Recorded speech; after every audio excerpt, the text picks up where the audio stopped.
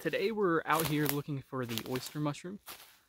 And I think I see some white caps up here, so let's go see if that's it. Okay, this was the oyster mushroom, and there's actually quite a few of them. You got this cluster here, cluster there, and some clusters going along this side.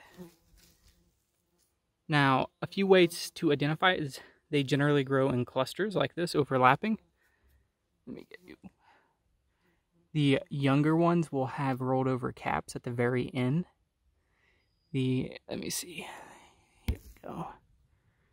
The gills run down almost all the way to the base to where the mushroom attaches to the tree.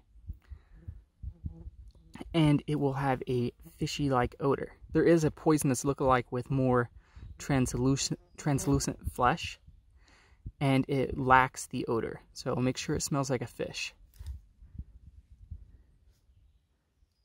I'll give you a better close-up of one in just a second. Here is a good close-up of the underside. And if you can tell at the very end of the gills, they fork, which is another identifying feature. And the gills run down all the way towards the base. I went ahead and took this one off right from the tree so you can have a good visual. This is a very good mushroom, and if you want to preserve it, you can cut it in thin piece slices and let it dry, and it will preserve your mushroom. I just wanted to make a quick little video. I hope you guys enjoyed this one. I'll see you in the next one.